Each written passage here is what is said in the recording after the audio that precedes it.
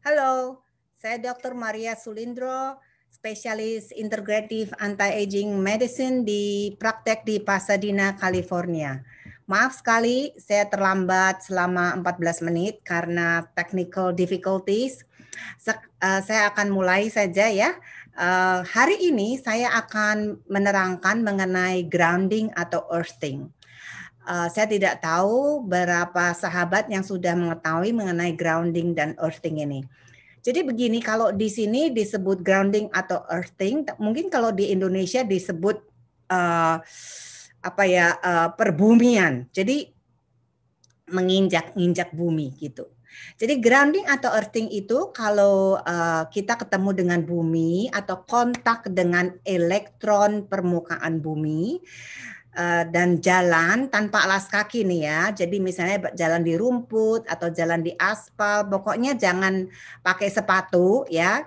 Uh, uh, boleh di luar atau di di dalam rumah kalau ada eh, tanah ya, tapi kalau di luar ya di kebun atau di jalanan ya, boleh duduk juga boleh atau sambil bekerja, ada alat grounding sebetulnya atau tidur di dalam uh, ruangan yang terselubung dengan sistem konduktif, konduk konduktif ya. Uh, beberapa di antaranya malah dipatenkan sama orang-orang ini untuk membuat alat-alat grounding yang mentransfer energi dari tanah ke dalam tubuh. Disebut elektron nutrisi. Elektron nutrisi very powerful dan murah kalau bisa jalan sendiri di luar rumah atau di kebun. Jadi sebetulnya da, dulu waktu kita masih kecil ya kita ditanyakan, uh, di, I mean disuruh pakai sepatu karena takut cacingan kalau jalan di luar itu ada betulnya juga. Tetapi sebetulnya uh, jalan di luar itu kita uh, menempelkan badan kita dengan elektron bumi dan magnetik bumi yang dapat mensehatkan uh, badan kita. Betul, ya. Bagaimana ini nutrisi listrik ini dapat menurunkan menurunkan apa? Jadi begini, nutrisi listrik itu ternyata dalam uh, uh, apa uh, research ya itu um, menurunkan inflamasi atau peradangan kronis. Dan kita tahu semua kalau peradangan kronis itu menyebabkan sumber penyakit ya. Di jurnal jurnal inflamasi Maret amin Maret atau April 2015 uh, itu di dalam situ ditulis multiple usage of grounding atau earthing earthing itu bumi ya. Uh, dan um, juga uh, terbukti ini menurunkan inflamasi dan menaikkan uh, imun sistem serta me menetralisi atau menyembuhkan autoimmune disease tahu ya atau immune disease misalnya rheumatoid arthritis atau vascular vasculitis pokoknya yang itis itis itu inflamasi juga dalam penyembuhan yang orang yang sedang luka-luka, lo mau cepat sembuh. Jadi jalan kira-kira 1-2 jam sehari di luar rumah, Uh, misalnya kalau sedang hujan ya sebetulnya lebih bagus ya, tapi uh, nggak perlu karena hujan atau lightning itu create more electron. Nah, jalan di rumput supaya nggak kena paku ya. Uh, kalau jalan di bumi itu membuat sel-sel darah kita tuh lebih lancar atau tidak lengket ya. Dan uh, white blood count atau sel darah putih akan cepat uh, menyelubungi kuman-kuman uh, dengan makrofagnya. Jadi makrofag itu uh, sel di darah putih yang membunuh bakteria dan menyembuhkan juga luka-luka uh, di kulit kita. Dalam penelitian di uh, saya bacanya ya di Amerika ya, uh, ini ada yang uh, dipublish juga ada yang tidak dipublish tapi banyak juga yang case study ya bahwa ada ditemukan peningkatan statistik dari waktu kita mengganti sol sepatu tahun 60-an uh, yang kulit kepada karet. Dulu uh, saya rasa ganti karena fashionnya dan karena kemahalan. Kalau sepatu yang alasnya atau kul, uh, bawahnya itu kulit mahal dan um, kalau yang bawahnya kayak sepatu tenis karet murah. Nah setelah diganti begitu um, maka kita terpisah dari permukaan bumi, terpisah dari elektronik permukaan bumi. Nah, ini waktu itu juga timbullah uh, peningkatan penyakit-penyakit seperti diabetes. Nah, ini semua di dokumen.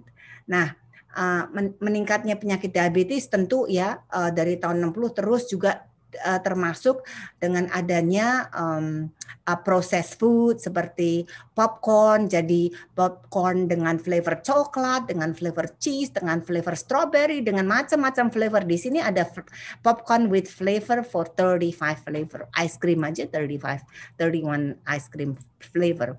Popcorn tuh sebetulnya kan jagung. Kalau kita makan jagung aja gitu kan lebih bagus ya. Tapi enggak di sini di pop nah udah di pop nggak terima lagi. Kan di pot kasih mentega dikasih uh, apa garam sekarang dikasih flavor. Nah se, se, semua ini menimbulkan of course uh, peningkatan uh, apa itu namanya insulin resistansi dan penyakit diabetic type 2 menyedihkan. Tapi ya mengenai earthing ini ya uh, kalau kita terus menerus earthing, uh, tubuh manusia tuh men, uh, bisa gula darahnya diturunkan. Jadi orang yang penyakit uh, diabetic type 2 coba deh earthing 1-2 jam.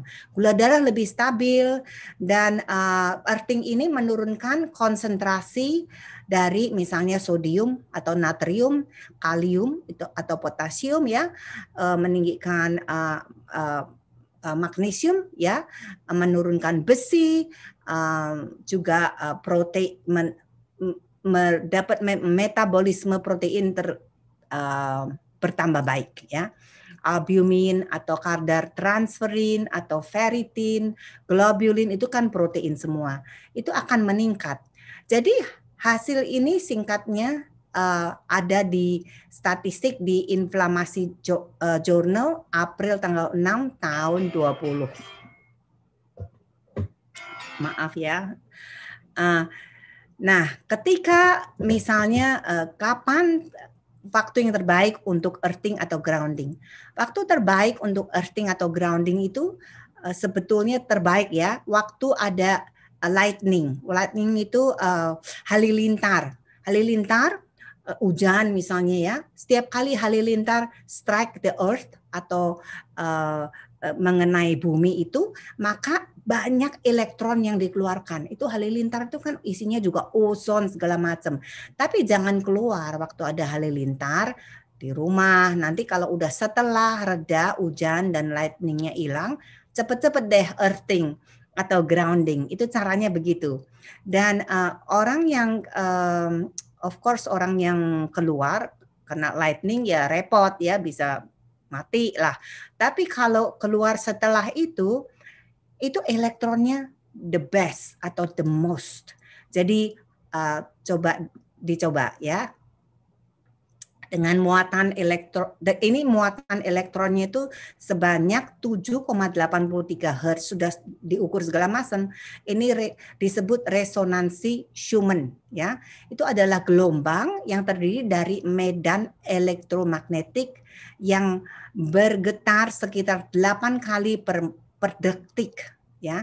Bagaimana uh, getaran uh, kunci ini dicapai dan bagaimana perkembangannya itu adalah karena um, ada humming effect.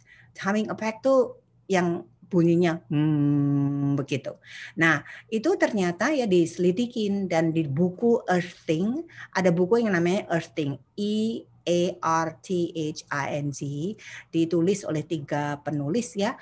Ah, salah satunya kemarin adalah uh, tamu pembicara saya Dr. Stephen Sinatra yang mempopulerkan coenzyme Q10 dan earthing. Dr. Sinatra itu kardiologis, tapi setelah uh, uh, ada personal story mengenai anaknya yang kena uh, aliran elektromagnetik dari um, namanya um, wireless telepon itu yang ada motherboardnya terus ditancepin terus kalau mau pakai kita nggak usah pakai wire itu is the worst for your health sebetulnya jadi hati-hati ya Setelah itu, Dr. Sinatra praktek sebagai integrative medicine. Dia mengajar di universitas uh, dan juga dia mempromosikan earthing ini sampai hari ini.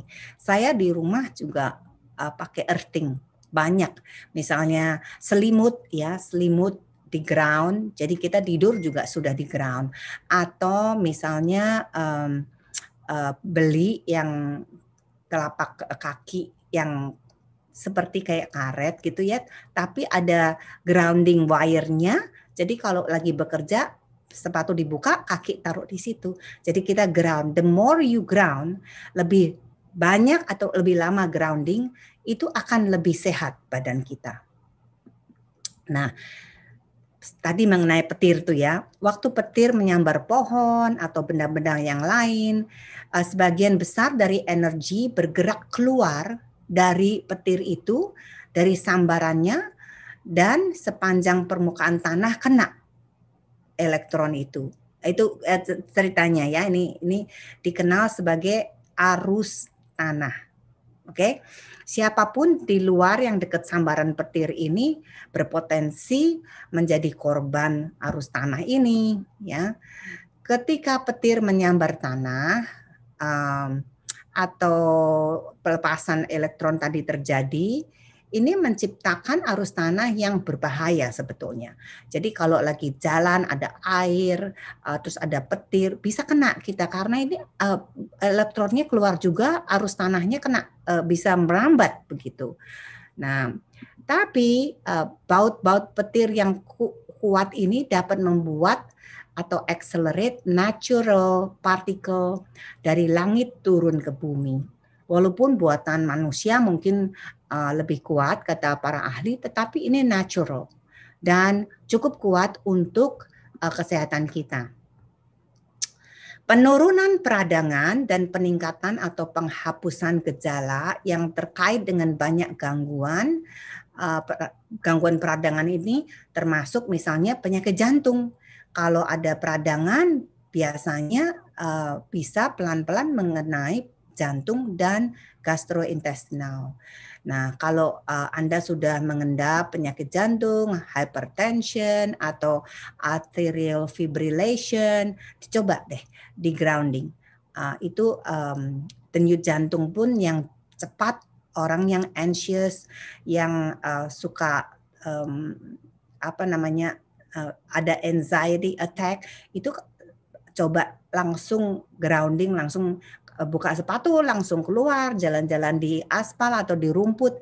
Nanti akan lebih uh, kalem lagi itu detik jantung. Di, diperiksa sendiri aja dipegang gitu. Nah semua ini kan gratis ya tidak usah bayar.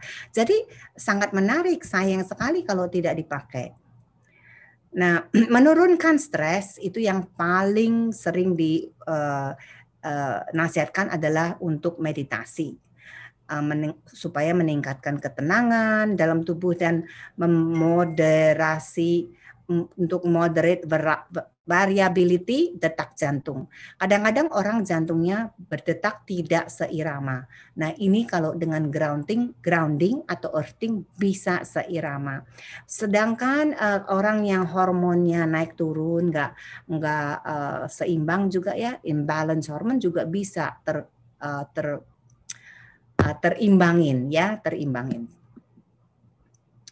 peningkatan dari efisiensi kardiovaskular misalnya um, uh, itu apa uh, vascular I mean darah yang dipompa dari jantung ke tubuh kita juga akan meningkat. Malah uh, ada istilah grounding itu membuat darah kita seperti kecap menjadi seperti wine. Jadi jadi bukan kental lagi. Nah Nah, problemnya begini. Ada pernah nggak grounding itu nggak boleh? Pernah. Jadi begini, ada penelitian bahwa orang-orang yang dikasih kumedin atau pengencer darah yang namanya Coumadin atau yang lain dari aspirin ya, mereka mencoba juga mem memperhatikan orang yang makan aspirin karena aspirin itu kan murah dan kalau bisa untuk pengencer darah satu tahun tuh genap satu tahun cuma 4 dolar. Jadi orang banyak memilih aspirin tapi pelan-pelan diperhatikan lagi kalau ternyata ada orang yang resisten aspirin. Bagaimana taunya? Dengan pemeriksaan air kencing. Bisa diperiksa apakah Anda bisa minum aspirin atau tidak. Kalau tidak bisa dan Anda kurang hati-hati dan meminum aspirin bisa perdarahan. Nah, perdarahan kita kalau nggak tahu repot juga ya uh, kalau tidak berhenti dengan sendirinya. Jadi orang-orang yang minum aspirin pun walaupun itu pengencer darah itu masih boleh earthing atau grounding. Nah, contoh-contoh grounding yang lain itu misalnya uh, ada batu di rumah, misalnya uh, di fireplace atau apa ada batu gitu ya, batu alami boleh pegang itu ya, itu itu grounding. Kebanyakan rumah-rumah yang baru itu uh, uh, apa itu namanya plug um, colokan listrik itu sudah tiga. Jadi yang bawah itu kawat yang hijau itu ground. So itu lebih bagus daripada yang rumah kuno-kuno yang tidak di ground. Jadi um, mengenai kehidupan sehari-hari kalau rumah Anda itu di bawahnya tidak pakai marmer atau tidak pakai batu alami atau tidak pakai um, tekel ya uh, uh, atau kayu itu masih bagus. Tapi kalau pakai karpet itu yang paling jelek untuk kesehatan badan kita. Jadi udah tahu ya semua. Dan untuk grounding atau earthing, um, Dokter Sinatra coba aja ke uh, sinatramd.com atau Riva, Riv, um, Vivana vevana.com. Coba nanti uh, saya um, kalau mau yakin sekali lagi di Google saja Dr. Stephen Sinatra S T E P H E N and then last name is Sinatra. Beliau adalah cousinnya uh, Frank Sinatra penyanyi yang lagunya My Way itu. Nah, sudah ya, terima kasih atas perhatiannya mengenai earthing dan grounding.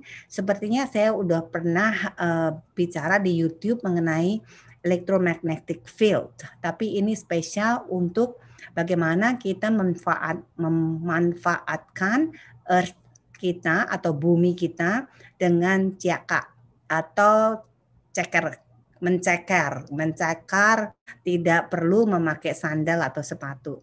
Kira-kira average yang diusulkan tuh satu atau dua jam. Selamat grounding.